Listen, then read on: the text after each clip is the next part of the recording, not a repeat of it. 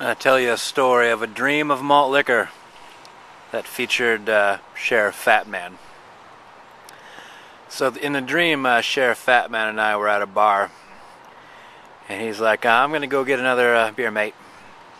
And he uh, he walks away, and he kind of walks away, kind of says hi to people, um, like takes a moment to talk to everyone just as he's kind of passing through. He doesn't actually stop, but uh, how you folks doing, um, that kind of thing kind of gets uh, almost people used to his presence uh, and his accent.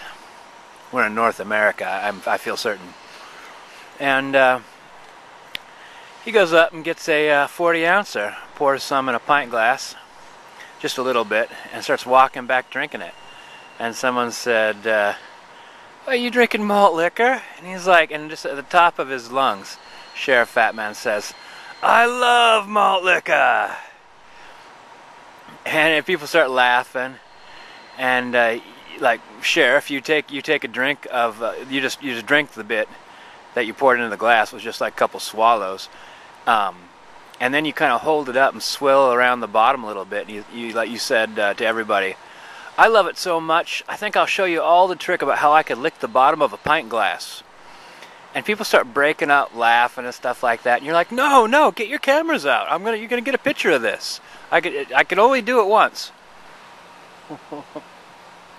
and so people start laughing, and uh, you're like, I'm gonna I gotta prep the glass. Get your cameras out, and uh, you start like rolling the gra- glass between your hands, and uh, you hold it up to your mouth, and uh, like the side of the glass, and you like you put it up like this, and you go like.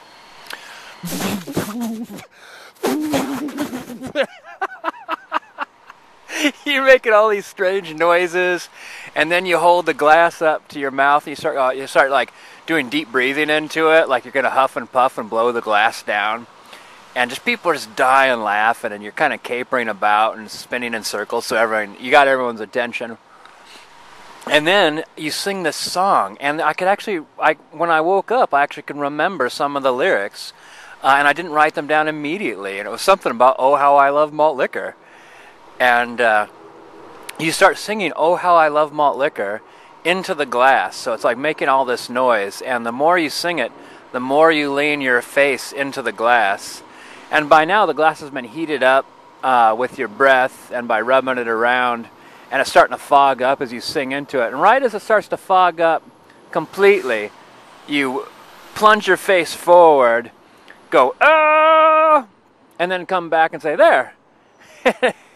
Did you get a picture of me touching the bottom of the pint glass with my tongue? I can only do it once. But of course, you know, everyone took pictures, but the glass was so fogged up, uh, we just couldn't be sure. But people were dying laughing, and uh, it's one of the funniest dreams I've had in a long time. I woke up laughing. So yeah, I thought I'd share that with you. Sheriff Fatman, uh, people who dream of malt liquor, and the rest of you. All right, guys. See you in the tubes.